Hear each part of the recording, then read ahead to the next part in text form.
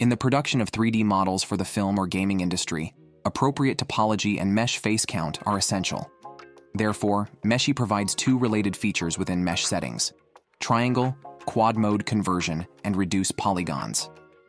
Choose a refined model and open the wireframe mode to display the wireframe of the model. Then, click the Mesh Settings button and select the Quad Mode to apply.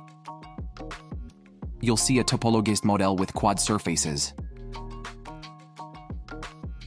The current face count is displayed in the upper left corner of the window. You can drag the slider or input numbers to adjust the ratio of the desired poly count to the original model's poly count. If you wish to make the face count from 10778 to 4000, simply set the ratio to 0.43. Click Apply, and you'll see the face count reduced to 4750 according to the ratio.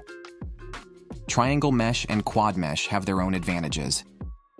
You can choose the appropriate mode according to your needs. Thanks for watching. See you next time.